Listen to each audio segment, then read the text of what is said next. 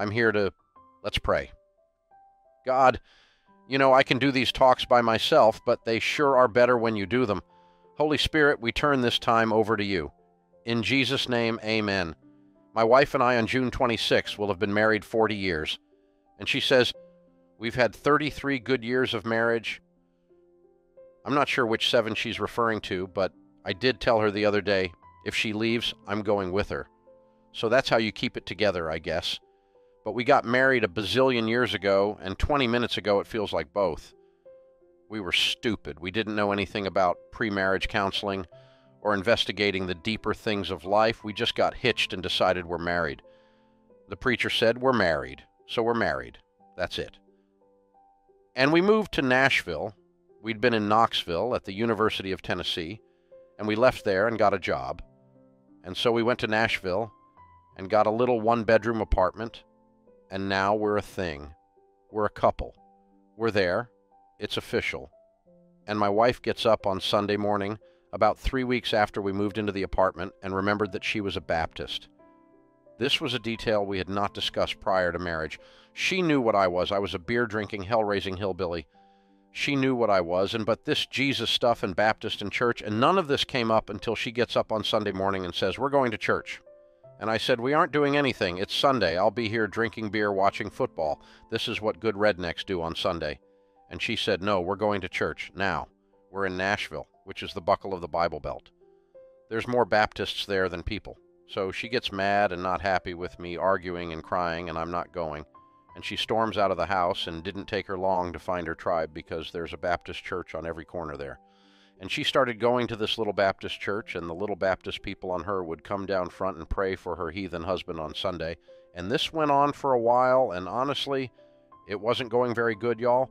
And so was a rough start.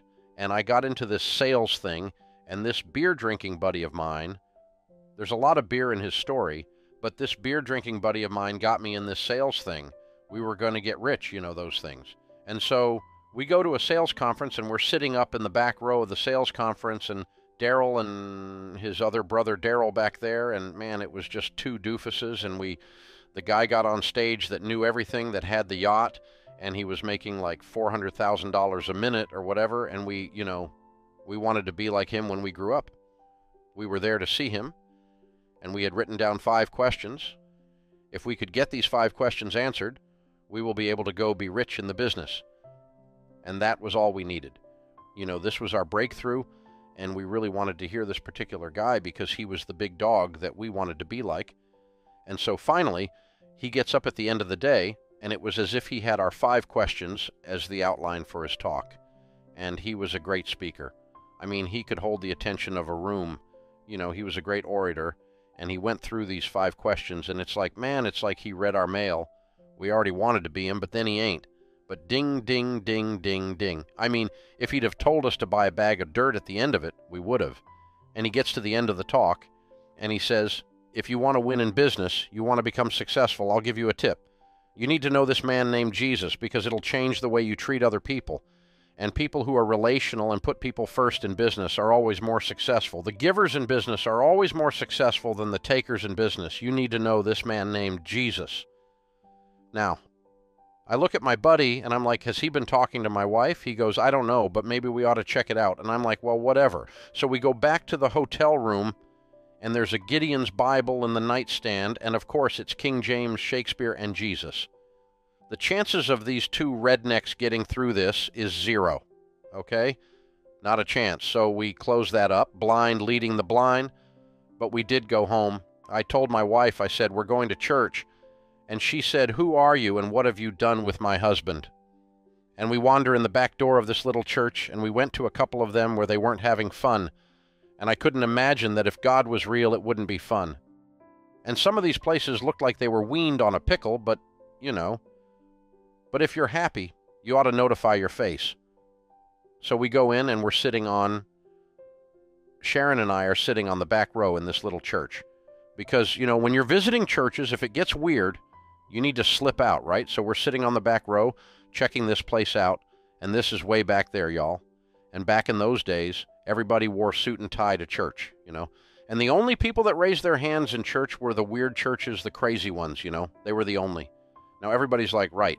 But I mean, and we're sitting there, and this woman in the choir raises her hand like she knows the answer to some question. And then she's like swaying, and I'm like, uh oh. And then here comes up a bunch of hands, and then hands are going up all over the place. I told Sharon, I said, if they get snakes out, I'm out of here. Well, they didn't, and they were sweet people. And the pastor was a strong guy, a good guy, and I kind of thought Christians were wimpy coming from my background on my side of the tracks. But this guy wasn't. He'd get up on you. He'd say stuff like, and it says in the Bible this, and if you don't agree with that, you're what's known as wrong. There's a man right there. Look at that. I like that. And somebody take a stand on something instead of be a sheeple, you know? Oh my goodness. And gentle, kind guy, but very strong. And this is old days. There's about 400 people in this little church. In old days, people would stand. The pastor would stand at the back in a small church like that and shake your hand when you left. Meet everybody. And that way, if you're a visitor, you're trapped, right? And so, and they're back there shaking hands, and his wife's a big old squishy woman. She's giving big grandma hugs to everybody going out the door. That woman's hugs and that man's strength a few weeks later in my living room led me to accept Jesus as my Savior. It changed my everything. Not just my life, it changed my everything. And I do everything backwards. I met God on the way up. Most people meet him in a point of crisis, some kind of existential crisis, and they meet Jesus, you know, but I was just like, everything's going good, except I need to know what this is. And so I started buying and selling real estate when we first got married. And by the time I was 26, I had about $4 million worth of real estate, starting from nothing, a little over a million dollar net worth, which translation means I had $3 million in debt. But at 24, 25, 26 years old, I made $250,000 cash taxable income. And this is in the early 80s. That was a lot of money then, $20,000 a month. Now, I don't know what neighborhood you grew up in, but we used to call that rich, and it was fun too. Sometimes I hear these people say, all those rich people are miserable. Uh, uh, you got that car you always wanted, man. I always wanted me a Jaguar. I thought if I got me a Jaguar because the neighborhood I grew up in, they couldn't spell Jaguar. So I went and got me a Jaguar, man. Within 90 days, baby, I was a Jaguar. You know, it's like, right? You know, my wife likes those sparkly things, and so we got her some. They weren't big enough, so we got her some more, and we went to Hawaii, y'all. Rednecks in Hawaii. Oh my goodness. Beautiful. I was going banana. We liked it so much. We went back, and we liked it that time. So we went back again. We were having fun, y'all fun. It was fun. We were having a blast. Now, I am not here to tell you money will make you happy. As a matter of fact, I am positive money will not make you happy. Money will make you more of what you are. If you're angry and you get money, Lord, help the people around you. If you're grace filled and compassionate and you get money, it expands your ability to be grace filled and compassionate. If you're generous and you get money, you become what we call a philanthropist. And you change entire ministries, entire communities, sometimes change the world with the money that God allows you to manage. But everything is expanded, magnified by wealth. That's why there's so many warnings about wealth in Scripture, because it's powerful, but it makes you more of what you already are. The crazy in your family gets crazier, and yes, there's crazy in every family. If you don't think there's crazy in your family, that means it's you. So we're going along pretty good and having a blast. And our bank that we were working with, we were buying houses and flipping this house before Chip and Joanna were born, and everything's going great. And the bank we were working with got sold to another bank. And a guy in another city looks down and says there's a kid, 26 years old, owes us a million two and 90 day notes.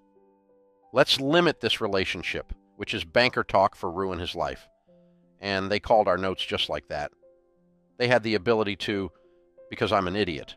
And I signed paperwork that allowed that. It's commercial paper, it's called.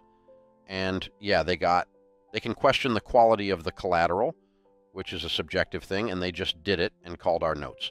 Short version of the story is we spent the next two and a half years of our life fighting to pay our bills because I was raised old school that when you say you're going to do something, you do it. But it turns out if you're really stupid, you can't do what you said you were going to do because you get put in a place where you can't do it no matter how hard you try. I worked like a maniac. I did everything I knew how to do. I was going crazy for two and a half years. And finally, at the bottom, we were foreclosed on. We were sued. And with a brand new baby and a toddler, we were bankrupt. We didn't get divorced. But money will cause a fight, won't it? I mean, we didn't get divorced. We held on to each other. But sometimes, just to get a better grip, y'all know what I mean? Sharon's from the hills of East Tennessee, frying pan throwing. There is an Olympic event, and the Russian judge says 10 2. Okay. Yeah. Oh my gosh, man. Wow. I remember standing the shower so hot in my face, it was almost scalding. And I would just stand there and cry because I was so scared. I met God on the way up. I got to know Him on the way down. He was my Savior. But in that, I had an I surrender all moment. He became the Lord, the King of every area of my life because I suddenly realized I was completely inept. That I didn't know how to be a husband because I didn't. I didn't know how to be a man because I didn't. I didn't know how to be a daddy because I didn't. I didn't know how to handle money. Even though I have letters and licenses, all these things after my name that says, I'm supposed to know something about money, but I'm bankrupt at 28 years old. And so I opened the love letter from my Heavenly Father, who's crazy about me, and I said, This is the only way I'm going to do it. Because all the other stuff I've tried didn't work. So how are we going to be married? All right, submit yourselves one to another. Crud means I got to dry dishes. My kids are flipping through here, and they're like, Dad, what's this rod stuff? And I'm, Come here, baby, I'll show you. First is going to be last. Hmm. Paradox. Interesting and I started learning what the Word said about life and what the Word said about my relationship with my Savior and my King. It's a whole different way of looking at life. And all of a sudden, I was weird. Because Scripture says, Be not conformed to this world. Don't be normal. Be transformed. Transformed by the renewing of your mind. And I started handling money. There's over 2,500 scriptures on how to handle money. I started handling money this way. And y'all know what's weird? It started working. Not fast, slow, painfully slow. But here I stand 30 some odd years later, and all I got to tell you is working is crazy working. And turns out if you plant corn, you will grow corn. Who knew? You're going to reap what you're going to sow every time. So here's five things you can do with money. Number one, you need to get on a written budget, a written plan. Now, I got 1,200 folks working on my team today at Ramsey, okay? and a whole bunch of them are little youngsters. They're amazingly smart. And I got socks older than them. And I have one of these little smart youngsters doing the stuff he's supposed to be doing. I went over to him. He was doing it wrong. I'm like, no, no, no, no. This is not how you do this. This is how you do this. Yes, sir. Yes, sir. And I come back later and he's doing it wrong again. And I'm like, hey, hey, no, don't do it that way. Do it this way. This is the way you do it this. Yes, sir. Yes, sir. Yes, sir. I come back again. He's doing it wrong again. I said, Boy, we're going to set you free. In Jesus' name. I mean, how many times I'm going to tell you this? There's a right way to do things and a wrong way to do things. I'm right and you're wrong. Don't do it this way, okay? There's just some things that you don't know. And he looks at me and he says, But I'm not like you. And I said, Okay, change. You don't have to be like me. But you got to do it like I'm talking about because I've been doing this for 30 years. I know what I'm doing. This is the way you handle this situation. This is what you do. And if you're not doing it right, what you do is you change. See, in Christianity, we have this concept called repentance. When you're doing something, when you're going the wrong way, God says, stop, change, go this way. Because you're about to run the car in a ditch. You're about to mess up your life. You're about to be broken, divorced, something. You're going the wrong way. And Christians, we throw sin around a lot we can call it sin if you want to call it. We can just call it dumb if you want to call it. But I've been walking along dumb, and God says, stop, turn, change. And we have the choice to listen to that or keep walking. We get to decide are we going to change? Get on a budget. If you manage money for a company called You Incorporated, and you manage money for You Incorporated the way you manage money for you now, would you fire you? You know, I meet these Christians all the time and I love my brothers and sisters in Christ, but some of them are oversaved. Like they're praying for some dumb stuff. Have you ever seen that? Like, I meet a guy, he's like praying, praying, praying, praying. I'm like, you know, you probably ought to go to work too. You can pray on your way to work because those that don't work don't eat. It's in there too, right? And so let's get some work done, all right? And, you know, pray and pray and pray and pray. And I'm praying for more money. Well, why don't you handle the money that you have, right? First, if you're faithful in the little things, then God will give you more to manage. That's in the Bible, okay? And so don't be misbehaving and disorganizing. Going, God sends you money. He will answer your prayer. He will say no. It's in the parable of the talents. The guy who mishandled money not only didn't get more, but had it taken from him and given to those that did manage better. Do you see it in the Bible? Doesn't sound like wealth inequality. I don't. It's not. I'm not into that. This is the Bible. You mishandle money, it's devoid of common sense. To give you more, get on a written plan. My son, when he was 14 years old, decided he comes in, he's a car boy, like I'm a car guy. And he says, Daddy, I want a brand new Corvette when I turn 16. And I said, You want me to put you in a fiberglass body with a 465 HP that goes from 0 to 60 in 2.1 second. You will kill yourself and someone else. I have seen you drive. You are incompetent. No, I am a loving father. I will not give you so much power that it will destroy your life. Instead, you get an old Chevette with a tired gerbil under the wheel, under the hood down there in the... Some of these cars sound like that too, don't they? But the ones that still make noise and oh my goodness. And you know, when you are faithful with the little things, my son, we'll talk about getting you into a better car. But most 16-year-old boys hit the car on all four sides within the first 12 months. Why are we going to put you in a brand new BMW? What do you think I am? Stupid. I, you know. No, I mean, I have judgment. This is God talking to you. Get on a written plan. My old friend Zig Ziglar used to say, if you aim at nothing, you'll hit it every time. Have a plan. My friend John Maxwell says, a budget is people telling their money what to do instead of wondering where it went. The second one. And you knew Dave Ramsey was going to say this get out of debt, avoid debt. The borrower is slave to the lender. Here's some math for you, okay? When you don't have any payments and you have an income, you have money. That was deep. When Sallie Mae is not the ugly aunt in the spare bedroom. She's lived there so long you think she belongs when you have MasterCard in your life. Who named that anyway? The borrower's slave to the lender. But I got a card says, I know who the master is. Well, I only need one master in my life. I've already told you that I'm not going to live like that. If you don't have any payments, it's not very hard to build wealth. If you're working, you have an income coming in, and all of it's not going out anymore, mathematically speaking. I mean, the average car payment in America right now is $526 over 84 months, according to the National Auto Dealers Association. If you invest 526ers from age 35 to age 65 in a decent growth stock mutual fund and a Roth IRA, Instead of buying stupid cars with it, you'll have 5 million in that one account. Hope you like the car. Well, you suggest we drive junk cars? No, I suggest you pay for your cars or don't buy them. You can't afford it if you haven't bought it. You're weird. I know. I'd already told you.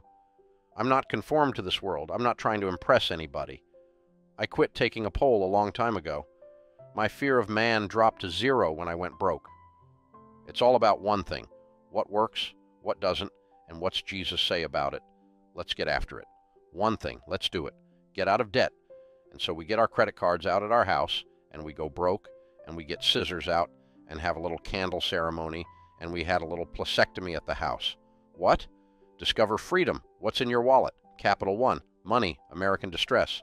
Home Depot takes cash. Chase this. You're weird. You're right. You're right. I am weird, and I'm not broke anymore. You mean you don't have a credit card? I hadn't had a credit card in 30 plus years to start with when I went. Well, went through bankruptcy, they won't give you one. So, and then once I got where I could get one again, I had already decided I'm through borrowing money. I had changed. I don't borrow money anymore. You're weird. You don't have a credit card? Nope. That's my wallet. Green President's Faces and Good Redneck Emergency Fund. There's always at least 10 Benjamins in there. And so four pieces of plastic a debit card, which means you have to have money in the account to use it, on my personal, a debit card on my business. My driver's license and my handgun carry permit. That's it. Oh, yeah. Rednecks in Florida, too, huh? Okay. All right, I said that in California the day I about got arrested, but good to be back in America, but yeah. So, hey, man, Tennessee and Florida, we're the same kind of folk. We just stand up and go, uh uh. No, you ain't telling me what to do. You got confused somewhere. Uh uh. Oh my goodness. Even if it's right still. Uh uh. Just because you said I had to do it. Uh uh. No. So get out of debt when you don't have any payments. You can fund your kids' college fund, and then they don't have debt when you don't have any payments. You have room to be generous. When you don't have any payments, you're set up to do the other things. The third one is foster, high quality relationship. Whoever walks with the wise becomes wise, but the companions of fools will suffer harm. Why? Because you become who you hang around with. You read the same books they read. You binge the same shows on Netflix. You read the scriptures the way they read the scriptures. You become who you hang around with. Some of you came from the north, and it took you just a few years to learn about sweet tea and properly speaking, but eventually you conform, and you become who you hang around with. Now, I'm not talking about I have to have everybody around me. It's an echo chamber, and I can't have anybody in my life I don't disagree with. I don't mean that at all. I'll talk to anybody. I love people. I'll meet you where you are, but I'm talking about who I hang out with on my back porch. These are the men that are causing me to be who I am. And I need to select those carefully, intentionally, because my mouth is going to sound like their mouth. And some people I run into need to change their mouth. Next one is save and invest money. In the house of the wise are stores of choice food and oil, but a foolish man devours all he has. If you spend everything you make, you're a fool. But if you save money, you're wise. That's what that proverb means. Proverbs is the book of wisdom. If you read Proverbs over and over and over again, and you understand the financial implications of the Proverbs, you will have a master's degree in finance beyond what a lot of people that have a master's degree in finance have. Because I got to thinking about it. Who was it taught me to borrow money? That was my finance professor in college who was broke. A broke finance professor is like a shop teacher with missing fingers. Let's think about this, right? If your broke brother-in-law has an opinion about money, his opinion don't count. He's just got an opinion and he's broke. You've been married six times. I hope this one works for you. But I'm not reading your book on marriage. Okay, let's just. I mean, think about this, right? I'm going to find out what's going on here and line up with that. And so you save and invest. You save and invest. The first thing you save for is you save for emergencies. You save for what grandma called a what? Rainy day. Rainy day. Visual aid. It's going to rain. It's going to rain. Dave, you need to be positive. I'm positive it's going to rain. I don't think you're going to see another pandemic in your lifetime. I don't think you're going to see another group of terrorist fly jets into towers in a major city, America, in our lifetime.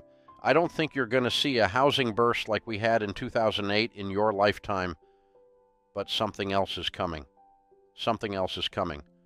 I don't know where it is, but I just promise you I'm old. I've seen a lot of this stuff come and go. You have too. And it comes and it goes, and something else is coming. You need to be ready. You need to be what we call the third pig. You remember the three little pigs? The first two didn't get real prepared, and the thing came, and a pandemic huffed and it puffed and it blew their house down, and everything was gone. And what they did, they went running to their brother, who had actually taken more time and thoughtfulness and prepared for the future instead of YOLO. You only live once. Thank God it's Friday. Oh God, it's Monday. You know, instead, he actually had some maturity. Learning to delay pleasure. No. Discipline seems pleasant at the time, but it yields a harvest of righteousness. Scripture talks to us about this stuff all the time. Get ready, be the third pig. It's coming. Be ready and see. Then this sets you up to be outrageously generous. Hard to be generous when you're broke. Have you noticed? Turns out the people that feed the starving kids are evil. Rich people. Only they're not evil. But the drumbeat out there in the marketplace and our toxic culture is that wealth is evil. Wealth is evil. Wealth is evil. Wealth is evil put at you by a kid living in his mother's basement with a $2,000 iPhone. And he's saying, Wealth is evil. Wealth is evil. Wealth is evil. Yeah. Well, let me help you with this. The percentage of people that are evil among poor people is approximately the same percentage of people that are evil among rich people. The money doesn't have anything to do with it. The money just makes you more of what you already were. Most wealthy people, and I know tens of thousands of them because of what I do, most wealthy people are incredible, generous, servant, kind, gentle, giving people. And then there's a few jerks. Most poor people are just trying to get ahead. They're trying to figure it out. They're not bad people. They're not evil because they're poor. They're just trying to figure it out, man. I've been poor. I know what it feels like. Actually, I wasn't poor. I was just broke. Poor is, you're going to stay. I ain't staying. I'm going to move on through. Right?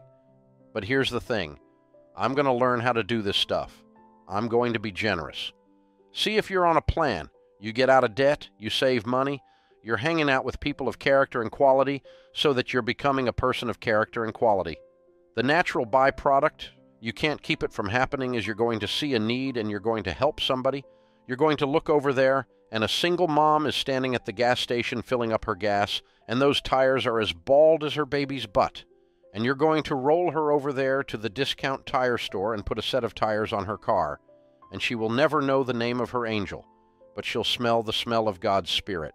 Because when you encounter God's people and they do something practical like clothe and put shoes on people who don't have clothes and shoes, and they put tires on her car, and you feed a baby and you help a single mom get her degree so she can go make more money and support herself and be sustainable. The smell is the smell of the Holy Spirit. I don't know about y'all, but when I go to the grocery store, I don't go very much. Sharon does most of that but I'm an efficiency person. I have no, I'm not going to the grocery store to hang out. I don't need to have a discussion. I'm in there to get this and this and this and get out the fastest. It's like a NASCAR stop, right? We're pulling into the pit stop. 1 1, let's go. And so I go gather up my stuff, and as I'm moving up, you ever do this? You're moving up towards the front and you're looking at the lines, trying to see which one's the shortest and which one's the most efficient. And you're going, yeah, that one's short, but that girl looked like she's slow. And this girl over here, she's moving it, man. I'm going to get in this line and I don't care. And then there's a lady with her buggy, like, looks like the Grinch that stole Christmas. I can't get in behind that one, right? So I got to find the efficient line and get out of there. So I'm over at the supermarket of the day figuring out my line. And then after you do all that, it's still something to get screwed up, right? I should have been in that line. It Y'all ever do this? Am I the only one? I get in the line, and this woman, her kids are running around all over the place, and they're bouncing off the walls. I'm like, Dad gum, inmates are running the asylum, and they're just out of control. Y'all see these people? Their children are just, oh man. It's like, and man. And then she puts her card up there, and it's denied. And all of a sudden, all my self righteous judgmental efficiency started draining. Now, I noticed the kids and it looks like their clothes are probably, well, they're experienced clothing. And you start to see how frantic she is. There's a lot of stress. I start to see on her body language. And then she turns. And boy, the eyes are the windows of the soul, the Bible says. And I look at her, and you can just see the pain and the fear and the anxiety. And she hands another card, and it's denied. And I'm just kind of watching this in slow mo, like a wreck like a train wreck. And I didn't realize it, but between me and her in line was Superman dressed as Clark Kent, was a Hispanic guy dressed in construction outfit. He's muddy. He's got muddy boots on and got his coat on. And before I could even come out of my self-righteous stupor, I'm just watching this whole thing. He comes out, pops out $300 and hands it to the cashier. Here goes Superman.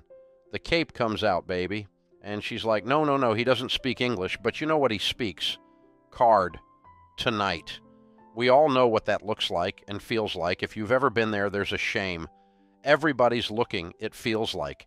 It feels like how bad everything's going. It's right here in front of everybody. And he's like, no, no, no. And I look up, and the lady finally takes it. And after she turns around, tears run down her face. The cashier's crying.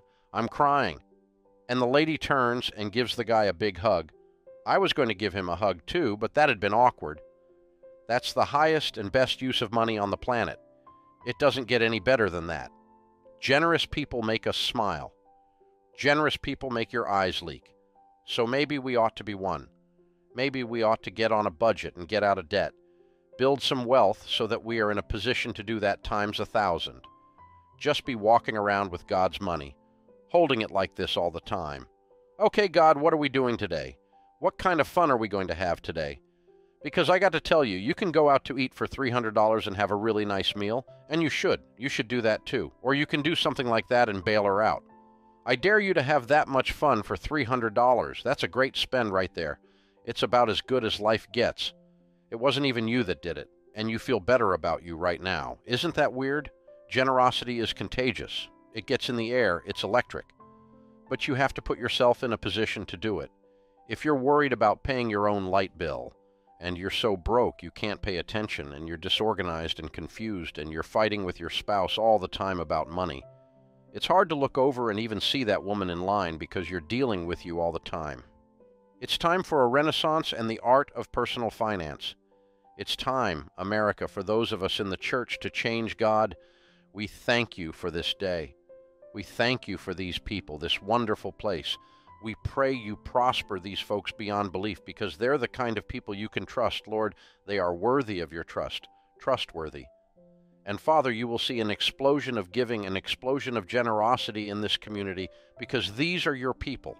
That's how their hearts beat, because they know they were given new life by you. They were transformed by you. And Father, you will get to just see a thing happen just because of this group this morning. Bless them, Father, in Jesus' name. Amen.